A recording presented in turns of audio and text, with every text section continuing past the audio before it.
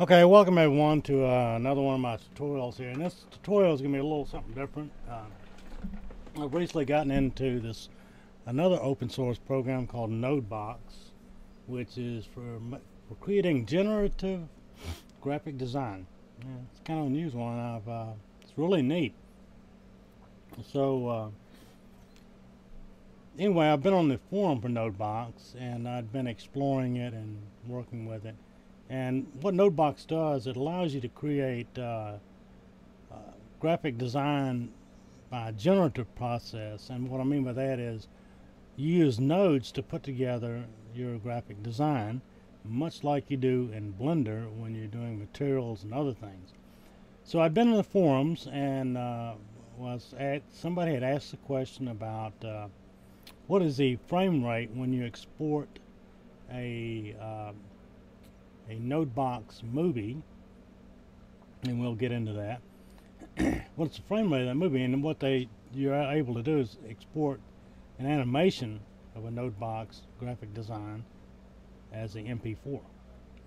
So, when I initially got into the conversation at the forum, uh, my answer was that I didn't really know what that frame rate was, but you could put it in the Blender and set it to any frame rate you like. Uh, at the time, I didn't know if it was 30 or or 12 or whatever. I didn't know, but uh, I did think about it a little bit, and um, I had a uh, recently did a animation, and I went up to the File Explorer where I exported the movie and uh, we'll go to my NodeBox folder here. Uh, and let's see if I can find the movie I did initially. These are all PDFs, which I made a mistake. So I'm redoing this uh, tutorial. But this is the one I did previously about a week ago. And anyway, if you click on it, right click on it, and go to properties, go to details, and it tells you it's four seconds long its frame width and frame height is 1000 per thousand and it's 25 frames per second. So that's one easy way to answer that question. So it's 25 frames per second when it natively comes out of NodeBox as exported as MP4 okay so that's that answers that question. And so what we're going to do I'm going to open NodeBox and I did a uh, I set up another NodeBox graphic design image recently. And uh, let's see, go to open recent. And this is called Color Rectangles 2. Now, this particular uh, uh, particular setup, I'm not going to go into that because you can go to the documentations and uh, look at some of the uh, examples and you can find out how to do this. Uh, but what it is, when I play the animation here, you see all the little squares they change colors and stuff? Well you can uh, you can export that as a movie. And so you just go up here and you go export range. And I want the oops cancel. Let's see if I can it this way. Export movie. And as MP4 and I'm gonna just go 1 to 100 so we're going to go to my NodeBox and we're going to call this uh, I'm going to go with the name I gave the original NodeBox file, colored uh, rectangles 2.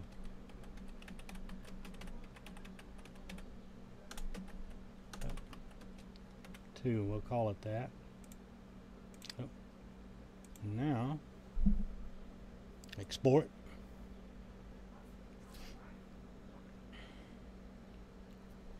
It's taking a few minutes out and uh, we'll have this little animation here. Oh, there it goes. It's almost there. It's, it's only 100, 100 frames, so it's fairly quick. Converting frames to movies.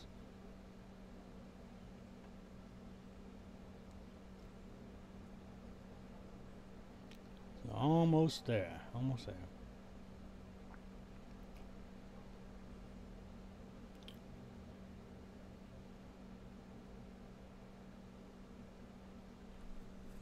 Having to think about that one.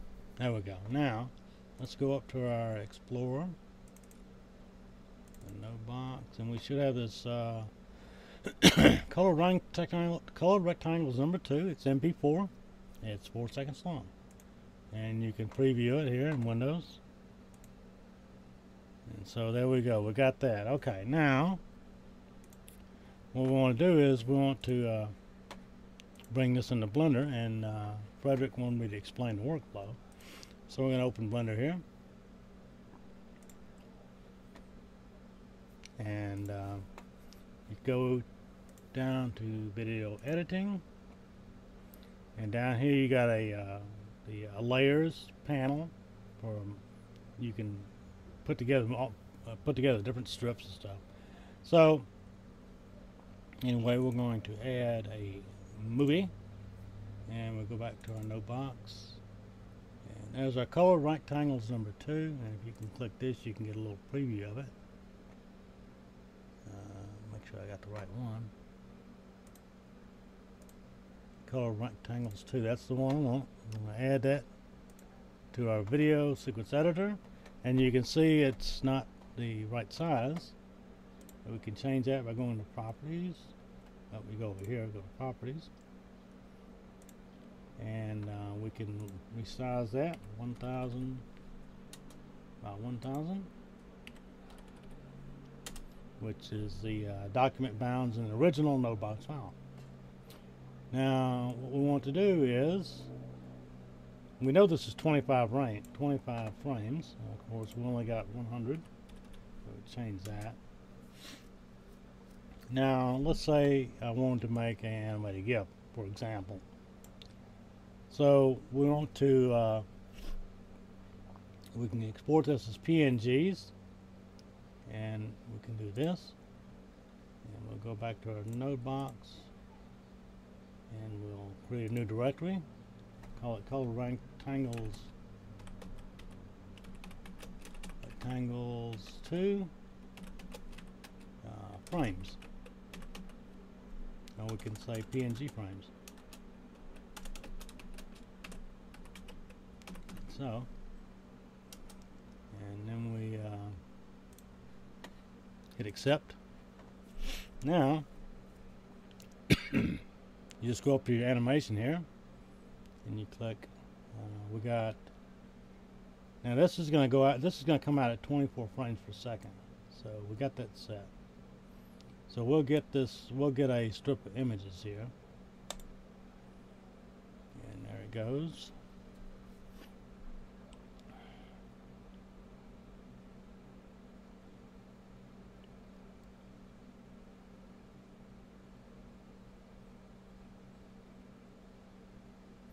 Alright, so we go down to our directory. And there we go, we got 100 frames. And I'm not going to go into the Photoshop part because you can bring in you can bring all this into Photoshop and uh, you know and they have a timeline in Photoshop CS6 I won't go into that.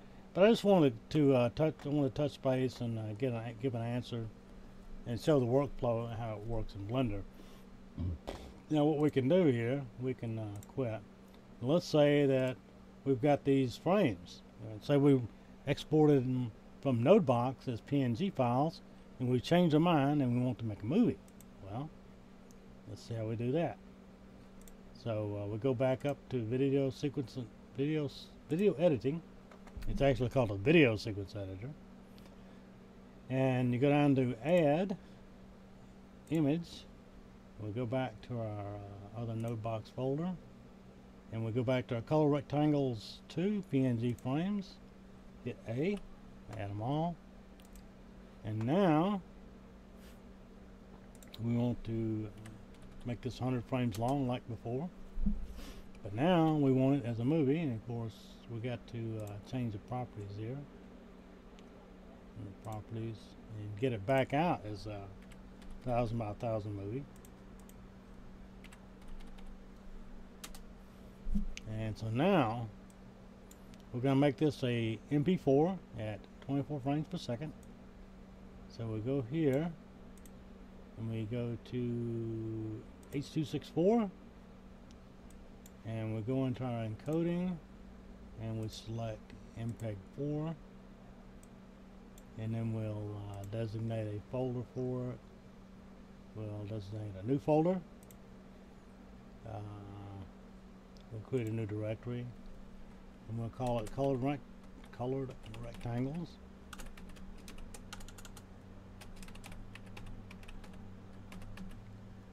Uh, number two, uh, frames to movie.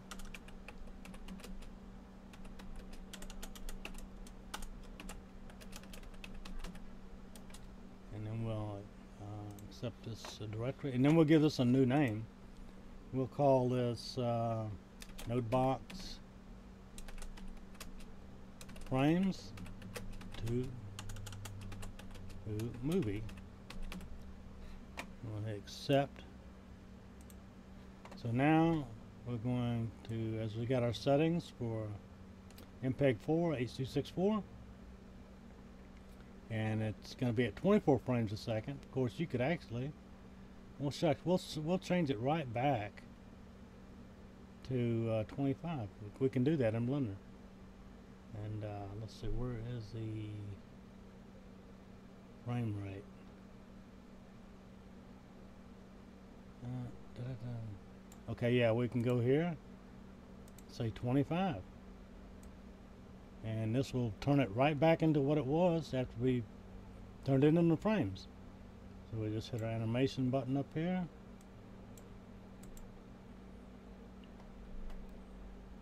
And now, we go to our folder and see if it's there. And there it is, NodeBox frames the movie. And uh, what we'll do, we'll just exit out of Blender. And we'll go to the File Explorer once again. And I believe it's in Documents under Nodebox. There it is, Color Rectangle Frames to Movie. And Windows Explorer stopped working. Uh, well, let's see. No, it hasn't. Well. Anyway. Uh, Windows, I've had trouble with Windows Media Player lately. Uh, so we'll we'll go we'll do a different route here. Uh, but it's the same thing. And what we'll do is we'll open it with, uh, let's see, we'll open it with uh, da, da, da, VLC Media Player, which I know opens almost everything. Pretty much everything. And there we go. There you go. You got your MP4 going from frames to a movie. So, uh, thanks for watching my video. and. Uh,